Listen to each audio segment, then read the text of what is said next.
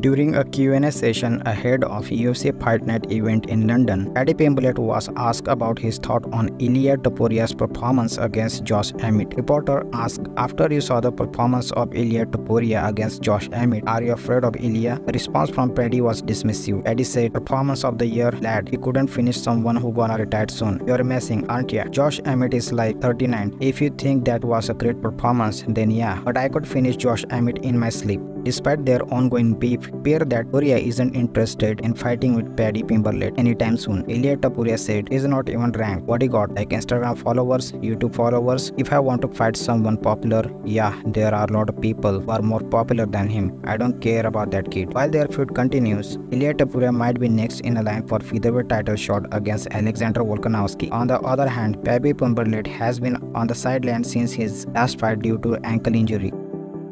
That's all for today's video. Be sure to give us a like and don't forget to subscribe for more updates on the world of MMA. Thanks for joining me and as always, take care